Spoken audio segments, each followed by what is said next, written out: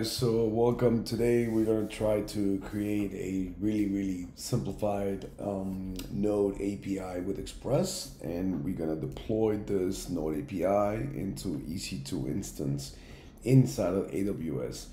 EC2 instance is basically like a virtual machine inside of AWS that allows you to run any code on those machines. So we're gonna push our code in there so that it runs from there. Okay.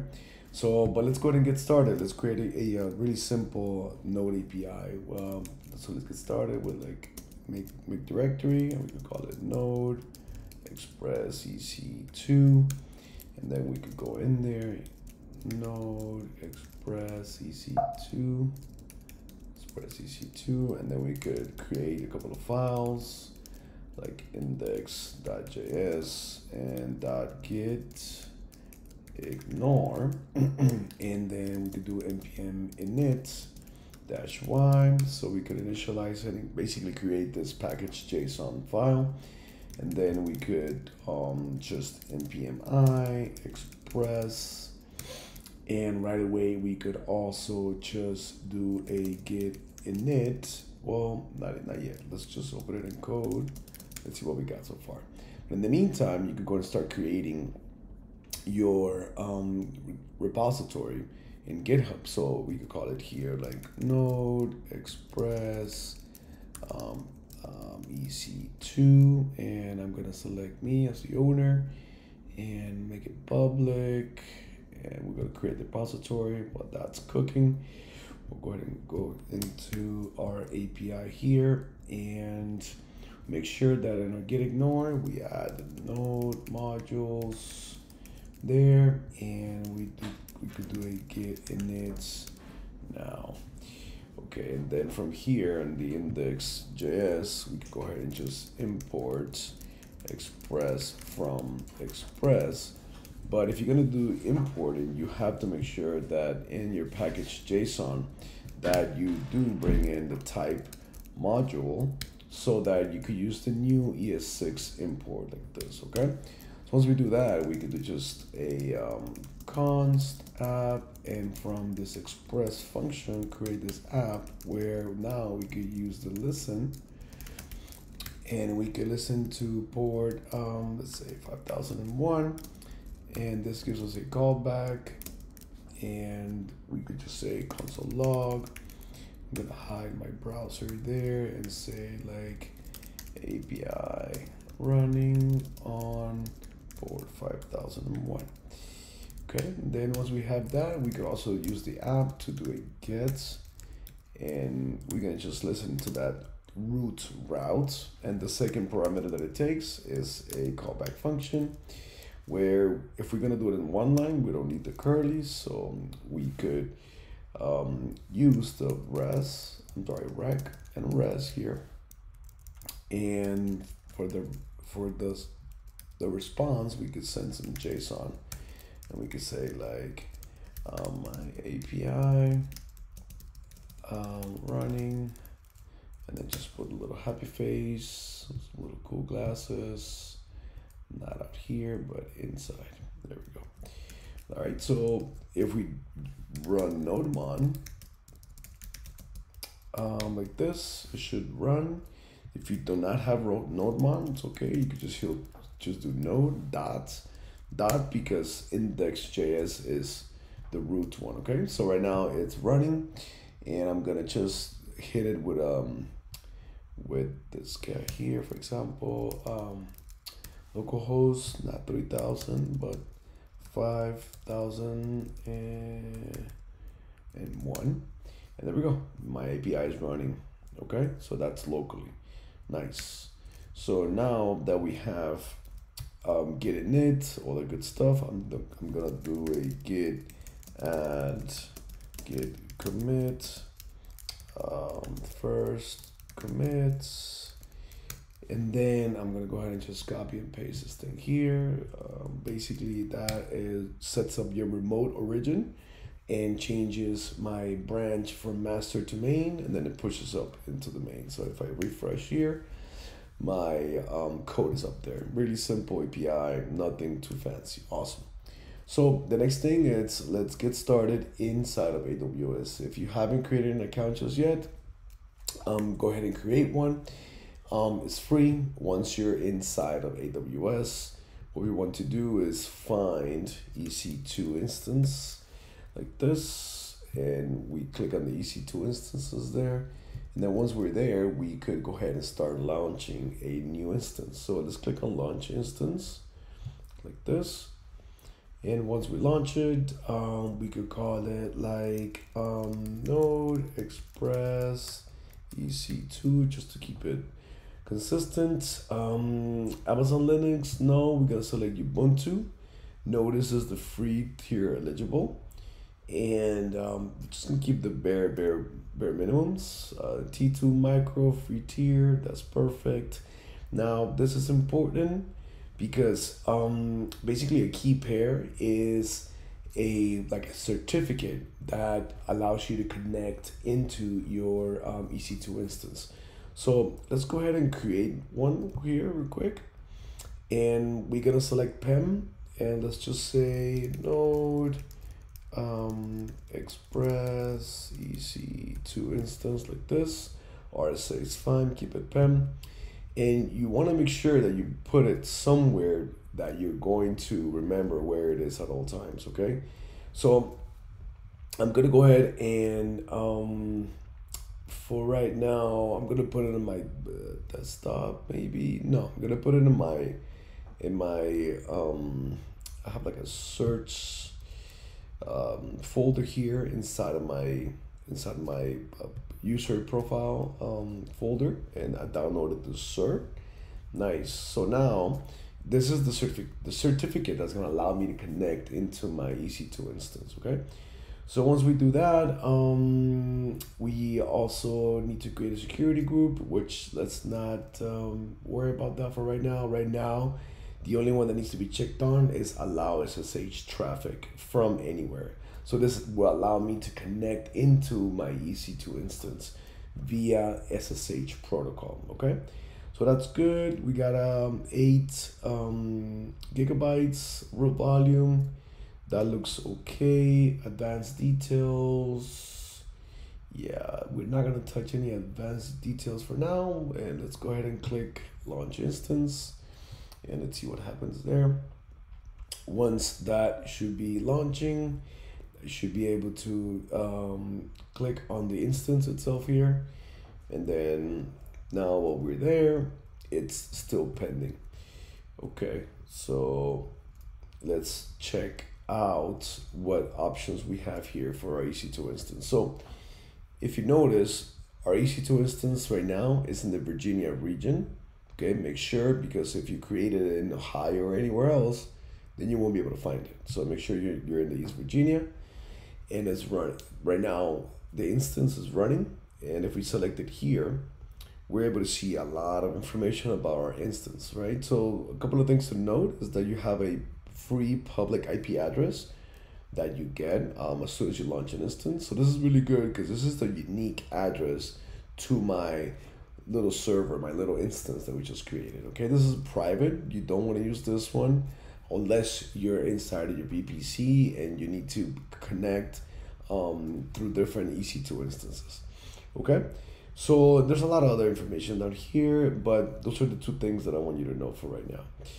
Now what we could do is select our EC2 instance and from here we could try and um, connecting. So we could click on connect here, okay? And we click on connect, it's gonna prompt us to here, how do we wanna connect? And usually you wanna connect via SSH client, okay?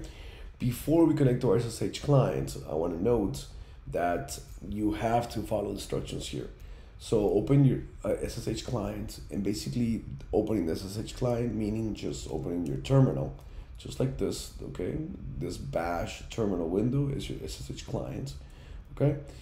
Um, now I, want to know that this guy here, the cert certificate, um, was dropped in my in my folder in my home folder then my for my home folder, so the HD, my hard drive, users, my home folder, and then I got some certs in here.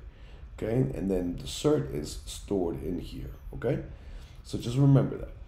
Now, um, says locate your private file key, which we just downloaded. We just located it just now. Now, check this out. It's asking the key used to launch is Node Express PEM. Hmm. Well, we downloaded a .cer, so not a PEM. So maybe it's a little off the instructions on here, but you gotta just make sure that um, you always use the extension that you downloaded with. It doesn't matter if they told you it's a PEM, okay? What you download is a CER. Okay, so then it's asking you to change the um, the um, admin rights to this particular file. It's asking you to change it to 400. So let's do that. So what we need to do is we need to, um, let's go back home real quick here and let's go into certs because that's where I have my cert, right? And you can see it here. Uh, this is my Node Express EC2 cert. So here I need to do change mod 400 to that node expressor okay what that does is that it gives it particular rights that are needed for that okay now it's asking you to connect to your um, instance using the public DNS yeah you could copy this right but this is a better one to use okay so let's do this one together so we're going to from within my certs file um, folder what I could do now is I could go into SSH okay, dash I, meaning use a certificate, and I could use that node. Notice that I hit tab and auto completes for me, okay? Ubuntu, and yeah, that, that I could copy and paste. So um, we could copy and paste this part here, and not Ubuntu, but Ubuntu like this. And then now it would allow me to go ahead and create, um, not create, but connect into my EC2 instance. So you sure you want to allow connecting? Yes, let's do it. Permanently added, wonderful. Now this means that I'm already connected to my Ubuntu instance. Okay, so this little machine, it's it's a um, it's a um, it's like a like a little virgin machine, right? It has nothing inside. Like if you look at it inside, um, it does not have much happening in here. Okay, so what we need to do now is we need to install um, we need to install curl. Okay, curl. You install it with this command: sudo apt-get install curl. Okay, and you can have. I'll, I'll give you a link to my um, medium on this where we now need to install um, Node, okay? And this is a way that we could install Node. And I'll make sure I link a um, the Medium article in this tutorial here. Okay, so once we install that, um, it's fetch, reading the packages, working. Okay, great. The third one we need to copy and paste is the sudo apt-get install node.js. Okay, we run that and it, that installs um, node.js for us. And basically this is the, um, the Medium article that I'm following here. And I'm, I'll make sure I add that to there. So then we need to install PM2, okay? And I'll show you what PM2 um, does later on, but let's go ahead and just get that installed with that code there. Copy and paste into that Ubuntu. And basically PM2 is gonna keep our um, API running at all times, okay? Our API code, all right? So that's the idea. All right, cool. So once we have that running there, then um, we have already Node installed and we have version 16 for right now. We have npm version also version 8.15. Okay, great. So now we need to get a copy of that code so we could start running our, our, our API, right? So then what we do is we could go into our, um, where's our Node Express API and we could do like git remote dash v oh dash v and we could get that link right or you could get that link from your um from your github right But inside of our Ubuntu, so what we can do now is we say git um, clone, and we're cloning that um, entire repo. We're cloning that repo. Now we have that repo inside of our EC2 instance. So I could go inside and um, the Node Express. I could see what's inside. We have an index. We have everything that we um, created locally. Now it's from GitHub now into Ubuntu. So I could literally just do node index and it's going to give us a couple of items because it cannot find express, right? So remember, this is a brand new setup. So we got to make sure that we do npm init, uh, not init, but install. Okay, so it needs to install all those module packages. So now if we do node dots, now it's running on port 5001. Beautiful.